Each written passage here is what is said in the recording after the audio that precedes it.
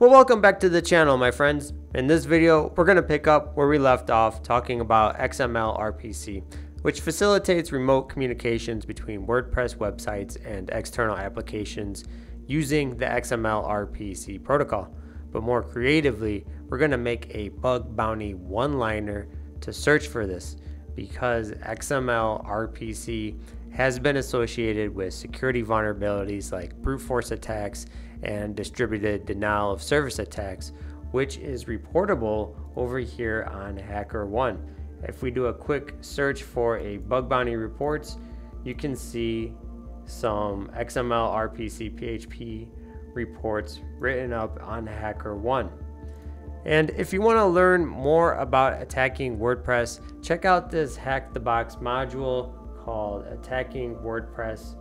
And it goes over how to do brute force attacks and go after XML, RPC, PHP files.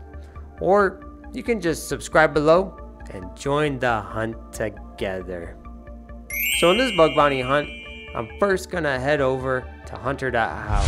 Now if you're not familiar with hunter.how, it's pretty much the same thing as Shodan, but I typically find better results on hunter.how than I do on Shodan when I'm searching for military domains and Department of Defense, which is what I'm going to showcase here.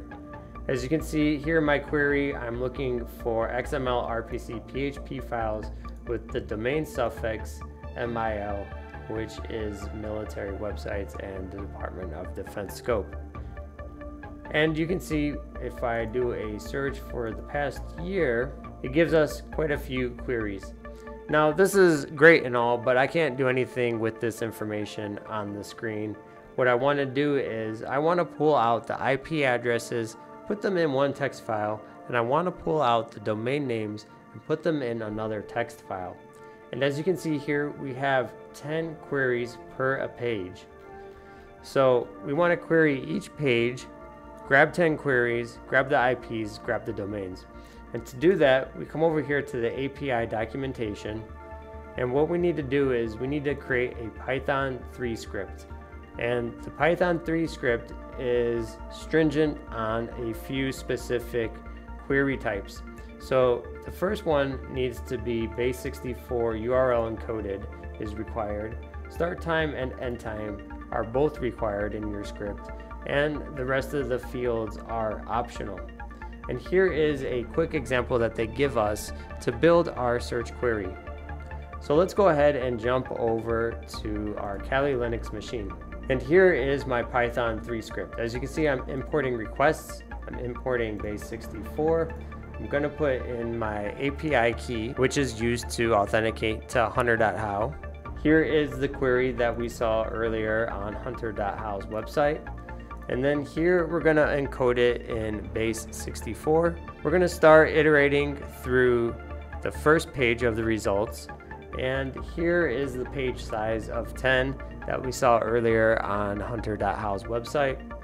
Our start and end times, our fields parameter, and then we're gonna construct right here the URL for the API query with the placeholders that we want. We're then going to send a GET request and we're looking for a status code of 200. We're then going to parse the JSON request. We're going to check if the status code was successful, and then we're going to initialize an empty list to store domains and IP addresses. Here we're going to iterate through each entry in the result list, and then we're going to append domain names to the list, and we're going to append the same for IP addresses to the list. Here we're going to open the domains text file for writing domains to, and then we're also going to remove any duplicates that it finds.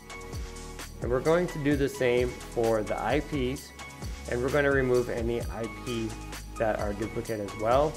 And then we're going to print the statement domains saved to domains.txt and IPs are saved to IPs.txt. Otherwise, if no results are found, it's going to print no results found. And then it's going to print any errors if it fails.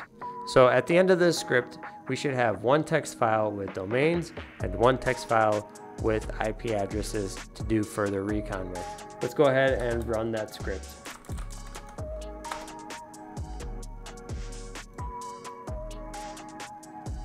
And here we have a text file for domains and a text file for IP addresses. Now we can combine both of these into one text file called combine.txt if we want. And then if we do a word count, you can see we have 12 lines over on combine.txt. So here comes our bug bounty one-liner.